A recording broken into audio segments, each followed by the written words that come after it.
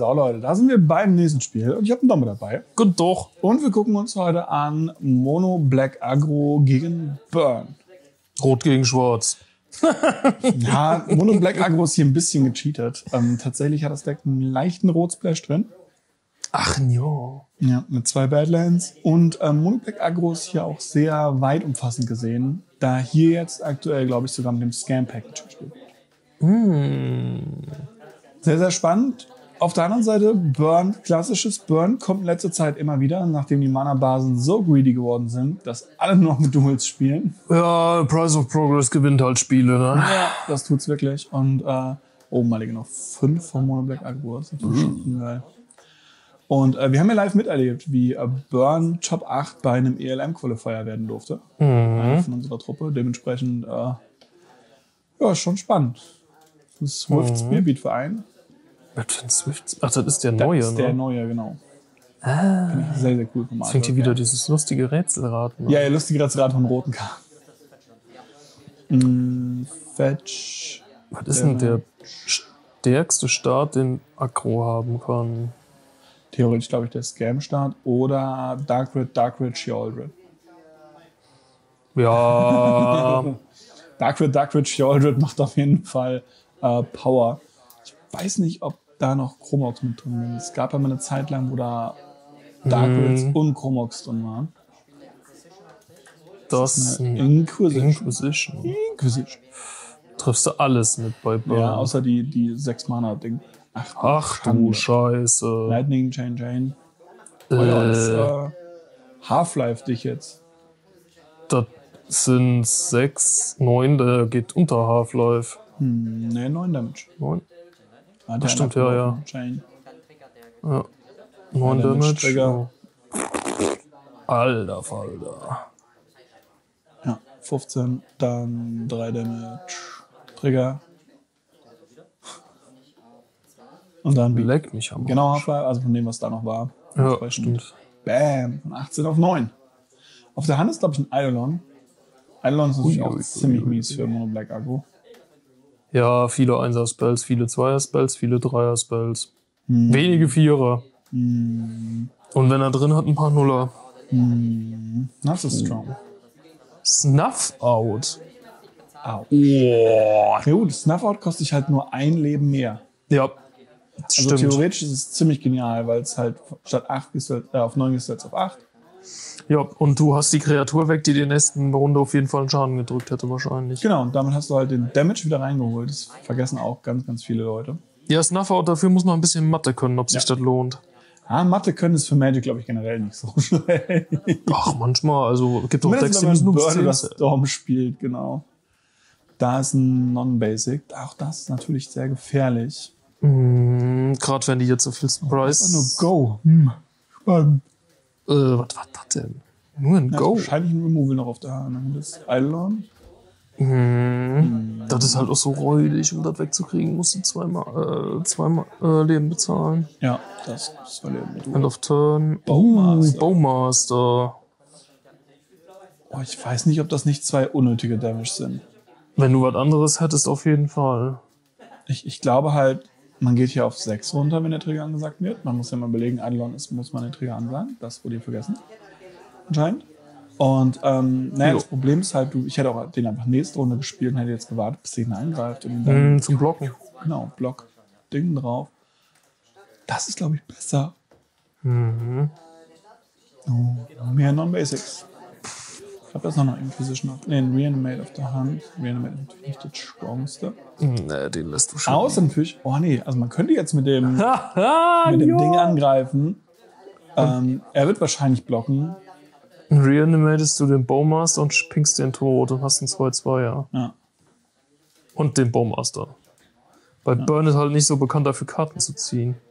Nö, sie haben manchmal das, das Cardwall-Land drin, das war's. Ansonsten äh, ist es eigentlich. Ist halt kein Mono-Red Pros. Die haben ja Card Draw drin. Die haben ja Cardwall, beziehungsweise viel mehr diesen Impulse-Draw, wie sie es nennen.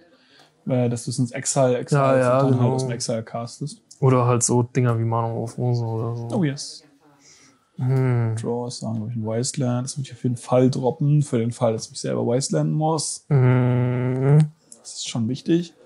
Das Badlands loswerden ist schon ordentlich. Aber oh. hat jetzt keinen Mehrgewinn gemacht dadurch. Okay, end of turn. Bei Burn ist halt noch nichts ja. passiert. Bolt. Nichts. Zwei Damage, was geht. Okay, auf dich spannend. Das ist wirklich interessant. Da ist noch ein Bolt, sind zwei Bolts, glaube ich. Bolt. Und jetzt wird spannend. Hat er noch einen Bolt? Yes. Bolt. Einfach 3, 3, 3, 3, 3 zu Tode ei. Genau. Ähm, vom Sideboard her. Manchmal Boah. spielt Burn Moon. Weiß nicht, wie gut das ist. Ich glaube nicht so gut. Würde ich nicht machen. Ähm, auf der anderen Seite Moonred Prison er hat nicht so viel Live-Gain drin. Ich weiß gar nicht, was sie überhaupt machen wollen. Ich ehrlich bin. Ja, das ist halt. Äh, Agro kann halt anderen Removal boarden, wenn er hat, oder mehr. Mhm. Ähm, besser äh, Starthände haben, dass man nicht malen muss, wäre auch eine Idee, weil ein Mal auf 5 ist halt auch schon ätzend. Mal auf 5 tut richtig weh. Ähm, boah, was kann ein Agro sonst noch spielen? Es ist halt nicht, nicht einfach tatsächlich. Mhm. Weil, äh, Grief, Bitch Grief. Da ist ein ballsy Start. Da ist der Price, da ist der Goblin Guide. Je nachdem, was du spielen kannst und willst, würde ich den Goblin Guide nehmen, ansonsten ist Eidolon. Ich würde jetzt wahrscheinlich den Goblin Guide nehmen, den reanimieren, wenn ich ehrlich bin.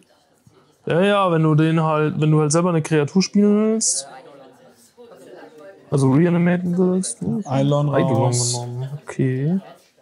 Fetch. Fetch auf 19. Ja. Und jetzt Reanimate auf den Grief. Geht man halt auf 15. Der sogenannte Scam-Star. Würde ich jetzt von ausgehen. Oder man könnte eine Inquisition spielen.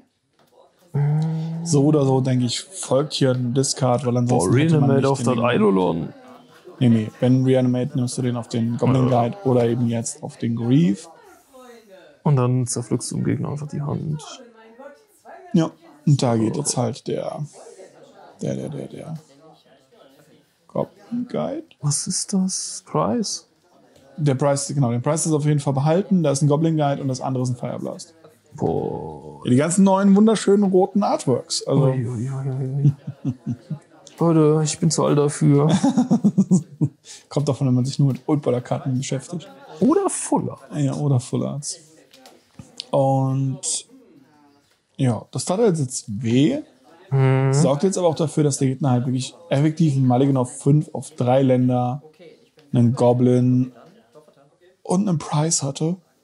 Und das Price gar nicht mal so Da gut, wenn du es halt weißt. Dauti auf der Hand oder sowas? Da ist noch irgendwas Artefaktmäßiges? Ne, das ist auf jeden Fall ein, äh, Ach, das wie ist heißt der Gute? Der Black Engineer, der Gute. Und noch ein Reanimate. Hoi, hoi, das hoi. Bringt die, glaube ich, hier nicht so viel. Black Engineer auf Goblin. Goblin tot blocken. Das ist, Swamp Cycling, äh, den Troll von Kadu. Ach, das Vieh. Mhm. Äh, oh Gott.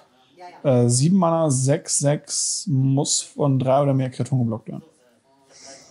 Wahrscheinlich für den Rotting Run ist so drin.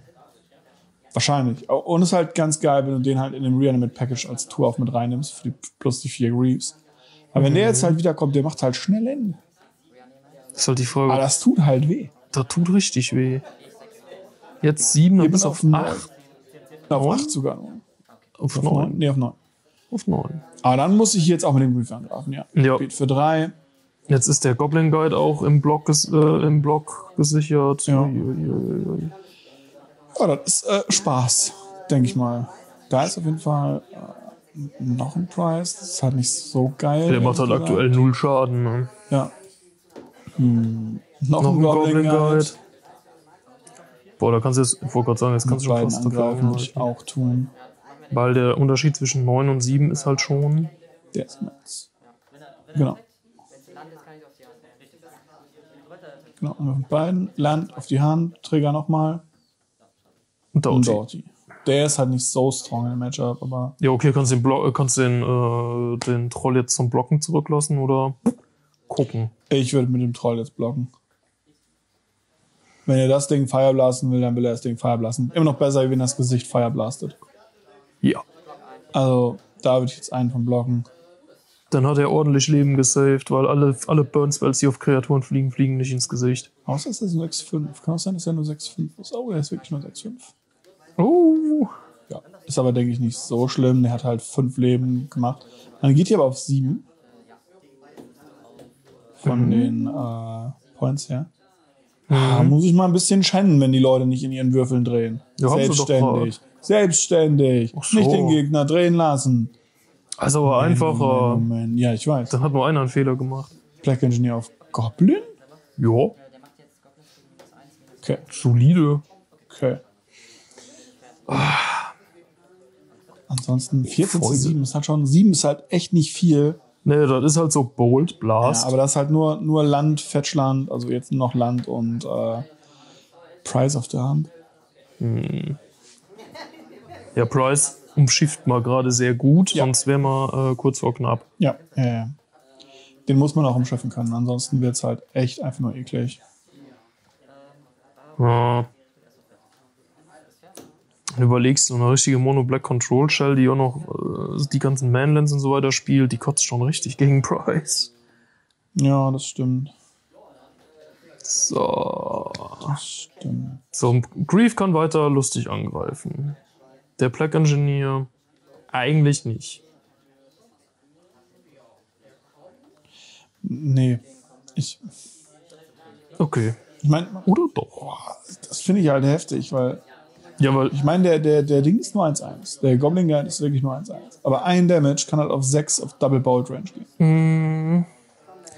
wenn du jetzt den Doughty hinterherlegst, machst du halt gar nichts. Ja, das macht leider nichts. Der blockt halt nicht. Oh, der zieht aber auch schon nur Shenanigans. Da kam, glaube ich, ein Eidolon. Nose. Spannend. Was ist das denn? Ähm, das ist das, äh, Gott, wie heißt das Ding? Zwar eine Verzauberung, wenn ein Spieler ein Spell umsonst castet, fügt er ihm 5 Damage, glaube ich, zu. Jo. Und äh, für zwei Mana kannst du die Leben nicht Damage, also nicht Life Gain, irgendwie sowas machen. Und in Und zu Beginn des Versorgungssegments kriegt jeder Spieler, glaube ich, einen Damage. Pink der ja. Sechs. auf 6. Dann das. Ja, aber in dem Board State so ein Ding zu spielen. Spannend. Block den. Genau, der ist über Goblin. Deshalb ist er nur 2-2-2-1. Stirbt der. Oh, hätte ich gar nicht so viel Angst gehabt, denke ich. Ich hätte einfach letzte Runde reingehalten. Auf fünf. Spannend. 5 ist, 5 ist, 5 ist Liefe, wenn jetzt ein, Pyro, äh, ein Ding von der Top kommt. Hm, ist die Frage, wenn es ein She-Aldred ist, war es egal. Ja. Aber wirklich nur bei She-Audit. Ansonsten, äh, Macht der Fetch überhaupt keinen Sinn. ne, wenig. Das ist, Das die, ist aber das ist She-Aldred. She-Aldred. Ja. Dann ist es auf jeden Fall. Äh, Die gute alte warum- Dame. Ich wüsste jetzt nicht, wie man da jetzt mit einem Spell zwei Damage schießen möchte. Nicht mit einem Prize auf der Hand. Das ist leider rum. Top. Damage gibt vier. Auf zwei? Warum auf zwei? Egal. Macht keinen. Unterschied mehr. Ähm, 1-1. Finde ich tatsächlich sehr, sehr spannend. Ähm, Mono Black Agro ist, glaube ich, hier gar nicht mal so favored, wie man es am Anfang denken mag. Nee. Weil, ähm, ja, sie haben nicht viele Non-Basics drin, was dem Deck halt immens zu Vorteil kommt. Auf der anderen Seite muss man sagen, sie haben eben auch sehr viele Karten, die sich gegenseitig Damage drücken. Also, willst du ja gern Fortseas spielen? Genau, du willst keine Thoughtseize spielen. Reanimate ist in dem Package halt auch einfach schmerzend. Ja. Und äh, da haben wir Mulligan. Und der muss halt, man muss dazu halt überlegen, der Discard tut Burn meistens gar nicht so weh. Weil die auch gern mal von der Top einfach gewinnen.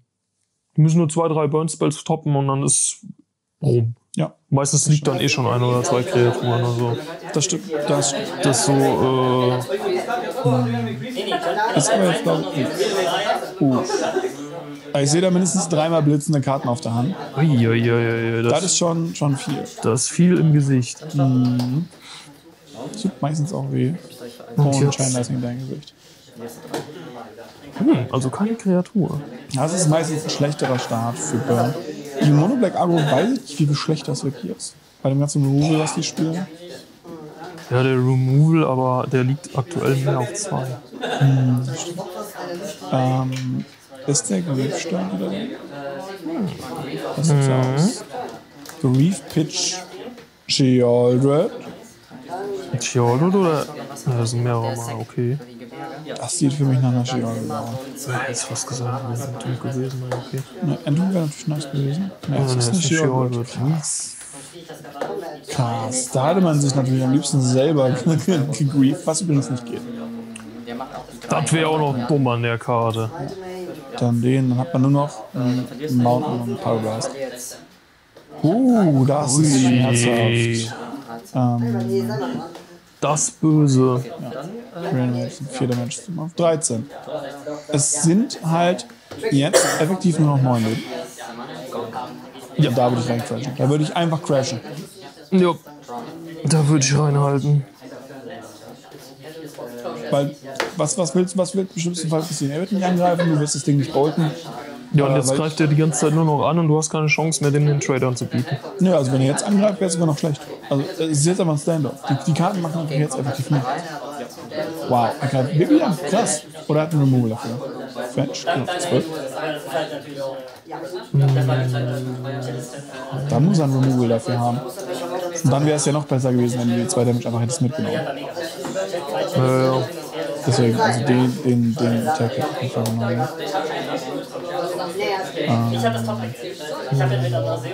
Ja, okay, für zwei könnte noch so was wie Doughty kommen oder so. Ja. Ich weiß nicht, ob man das Agro-Deck noch ist. Es kann sein, natürlich. Ich finde den Donny ich finde den Donny. 3, 2, Shadow. Ja, okay, der Doughty kann ja halt auch mal einen, ähm, jetzt Gebiet auf landet, landet unter ihm. einen Bowl ziehen. Nicht Ja, dann macht er 3 Damage. Also ist er auch mal. Voidex. Naja, aber trotzdem. Oder ein Kreaturkorn mit dem Bolt oder irgendwas anderes. Also der kann, der ist halt schon versierter. Problem ist, die meisten Leute, die in Spielen vergessen hat, die Karten halt unter castbar sind. Ja, es ist Start und zweitens kann er nicht blocken. Was ist das jetzt für eine Idee? Teil- Okay. Ja, die sind. Falls ich wieder mal einen habe, könnte ich dann mal. Thinking. Uh, das ist äh, falsch.